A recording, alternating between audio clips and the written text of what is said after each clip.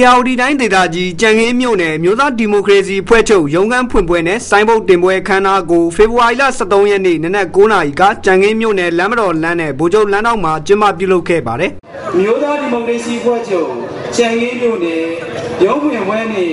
စိုင်းဘုတ်တင်ခြင်းအခမ်းအနားကိုစတင်ကြောင်းကြေညာအပ်ပါတယ်ခင်ဗျာ။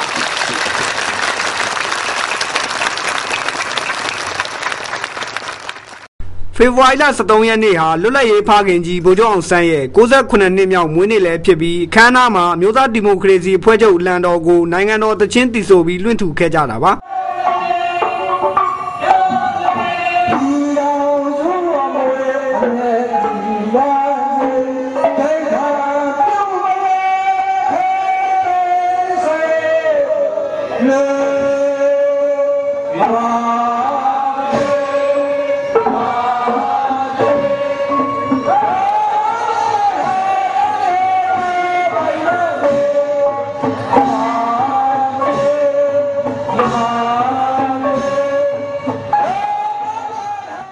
ဗိုလ်ချုပ်အောင်ဆန်းနဲ့တကွကြာဆုံးခဲ့ပြီးသောအာဇာနည်ခေါင်းဆောင်ကြီးတွေကိုလေးပြုခဲ့ကြပြီးခေတ်ဆက်ဆက်ဒီမိုကရေစီတိုက်ပွဲတွေမှာကြာဆုံးခဲ့ကြတဲ့ရဟန်းရှင်လူပြည်သူတွေအတွက်လည်းဒီခမ်းနားမှာတမင်းနှငိမ့်သက်ဂါဝရပြုခဲ့ကြပါတယ်။အာ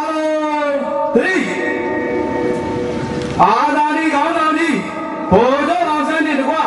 ကြာဆုံးလေပြီးတော့အာဇာနည်ခေါင်းဆောင်ကြီးများ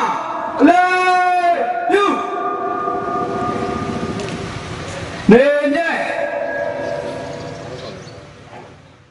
မျိုးသားဒီမိုကရေစီအဖွဲ့ချုပ်အဖွဲ့ဝင်တွေနဲ့ပြည်သူလူထု900ခန့်တက်ရောက်ခဲ့တဲ့ဒီခမ်းနားမှာ ARD တိုင်းရွေးကောက်ပွဲအောင်နိုင်ရေးတာဝန်ခံဦးကိုကိုမြင့်မှတက်ရောက်လာသူတွေကိုမျိုးသားဒီမိုကရေစီအဖွဲ့ချုပ်ရဲ့ရည်မှန်းချက်အတိတ်ထန်နဲ့ပတ်သက်ပြီးဟောပြောဆွေးနွေးခဲ့ပါတယ်။ကျွန်တော်ဒီနေ့ချန်ကင်းမြို့ကနေပြီးတော့ကြောက်ရလာတဲ့ပြည်သူကို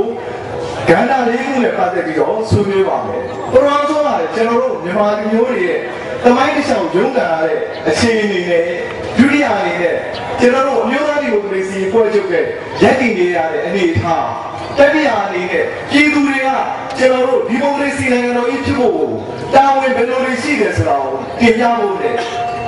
နောက်ဆုံးမိတ်အနေနဲ့ကျွန်တော်တို့အမျိုးသားဒီမိုကရေစီဖွဲ့ရဲ့ရီမန်းချက်အထိတ်ခံကိုကျွန်တော်ဆွေးနွေးမှာဖြစ်ပါတယ်ပါတီဆိုင်ဘုတ်တင်ပွဲခမ်းနားအောင်မြင်စွာပြီးဆုံးတဲ့အထိမ်းအမှတ်အဖြစ်ညပိုင်းမှာညိတ်တပင်နဲ့ဖျော်ဖြေခဲ့တယ်လို့သိရှိရပါတယ်ခင်ဗျာ